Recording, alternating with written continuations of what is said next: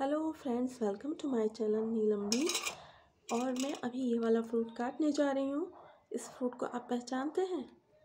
आप पहचानते हैं तो पहचान ही गए होंगे। चलिए इसे कट करते हैं।